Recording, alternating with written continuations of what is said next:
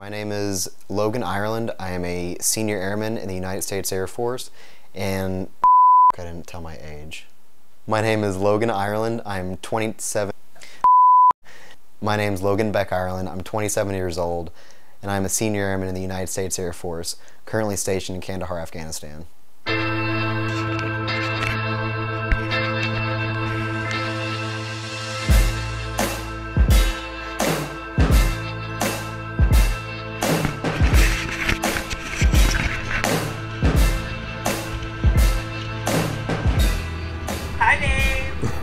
Hey.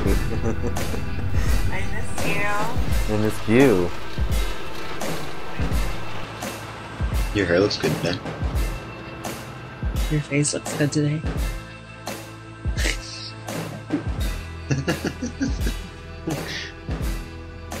How's the wedding planning going? My cousin's gonna be doing the cupcakes like we wanted. so exciting. But tell me about your deployment every time we go to a different location, there's always a whole bunch of kids around.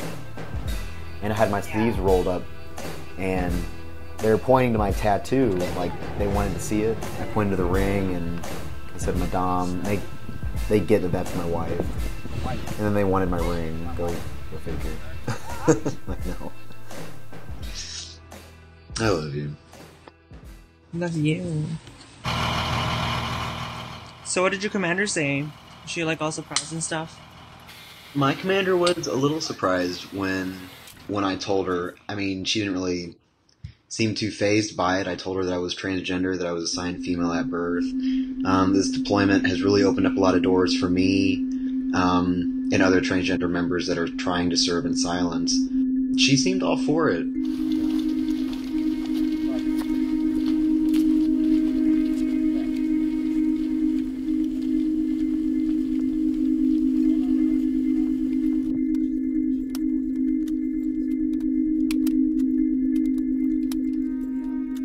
Contact right! Well, my mind is completely wired like a guy. Every everything I think about, operate, my mannerisms, it's completely male, 100%. So we have four bathrooms, and basically everybody just pairs up with one. There's three right here. And this is the one I usually use with one of the other guys. And it locks. Has everything you need.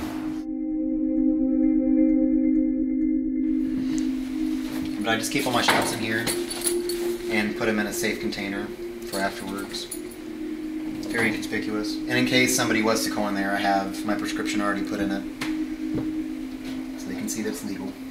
There's not a lot of people that know that I'm transgender. It's very much on a need to know basis. Um, Currently in Afghanistan, there's only a handful, and those people are of higher rank than, of course, the people that I came here with from my home station. How often do you give yourself a shot? Um, so it's every Friday. When the other guys ask me uh, what being transgender means, I basically say that it's just being assigned female at birth. Your mind does not uh, come in alignment with your body. After doing it every week for over three years. You just kind of get used to it. And that's it.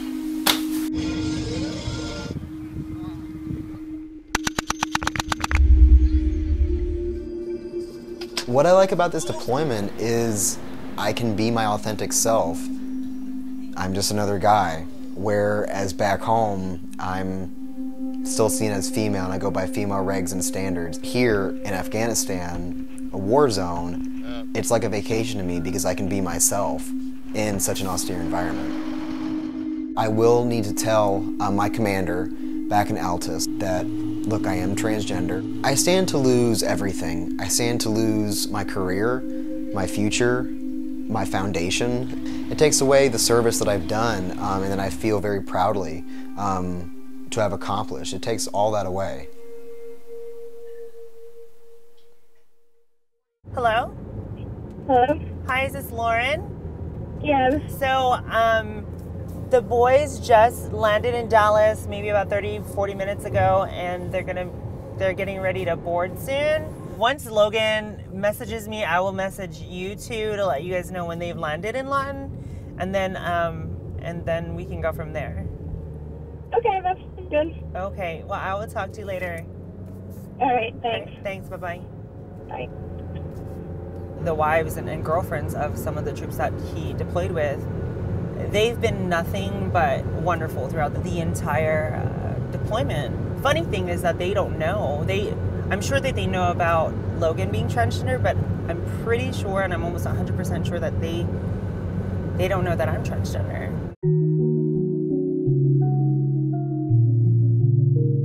Uh, my name is Leila Villanueva. I'm in the United States Army. I'm a healthcare management administration specialist. Been in the military for 12 years.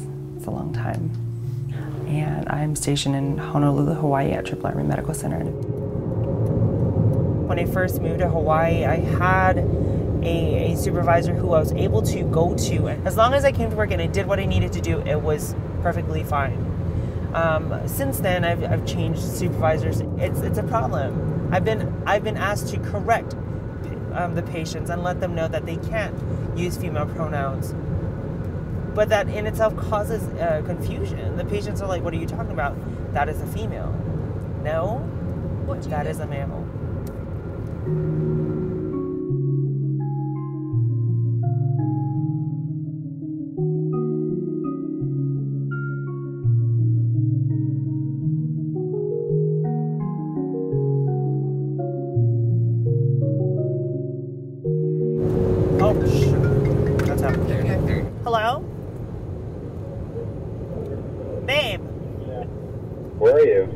Driving. Well, I'll message you whenever we leave here, okay? Yeah, please let me know when you guys are getting ready to like get on the bus and head over. Okay. Okay, I love you. Love you. Bye.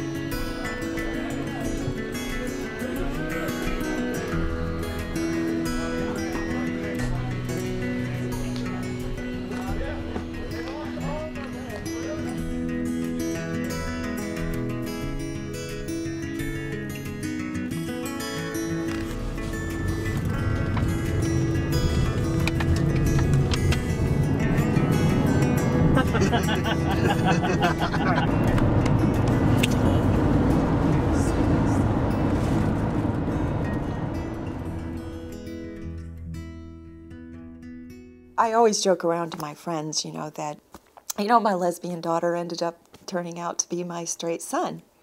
I have a lot of gay friends and even several gay cousins, but transgender is just not something I've ever heard of. So he had to educate me. My, even my, my closest friends at work don't know. I mean, we're mechanics, and everybody's got their opinion. They know, you know, my daughter's in the military. It took me a while to come to this point. You know, this didn't happen overnight. I mean, uh, through uh, the growing up years, and when I finally realized the situation, I was just like the guys at work. Same attitude, same, you know, even it was my son, daughter. You know, I, I- it was hard for me to accept. But the bottom line is, this is an American going fighting for your liberties that you have here. I don't care what gender you are.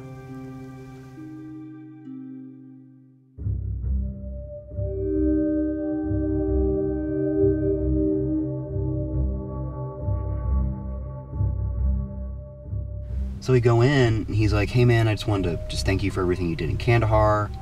Um, we heard really great things about you, and the first sergeant told me about what's going to be going on with you. Like, he's like, we have your back, 150%. Whatever you need to do, do it. he's like, okay, um, your blues, they, you're not wearing them, are you, or are you not? Because you have female blues and those are way out of standards for you. You need to get rid of those. I'm like, no. Sh-. So that means that means that I get to go buy male blues. oh, that's exciting. That oh my so god, that's exciting. so exciting. That is so exciting. My heart is like pounding really fast. I I got so excited, like, cause that's huge. This is a first to my knowledge. You're Yeah. yeah, you're telling me to to screw dress and, and now I'm going by male dress and appearance standards too. So I don't have to grow my hair out, and I can have a mustache. Because the military is such a manly environment, it is way much more difficult for for women to transition than it is for men. Her unit does not support her whatsoever. They see her as male. They make her use the male restroom. They have her going by male regs and standards. You know, people people think that we're different or sick or whatever their whatever their um their opinions are of us, but we are people too, you know. We live our life and we get married like anybody else, and we want kids and we want a house and we do our jobs. And in that, um, there shouldn't be any problem for us to serve openly. So. There are a lot of transgender troops. There's over 15,000 of us, but I know a lot personally. They're getting discharged left and right, and these are good people for the military. You worked alongside of me, and we served. We went outside the wire together. We had each other's backs together, right? So you didn't see me any different then. Don't see me any different now. And please change your opinion on others like me.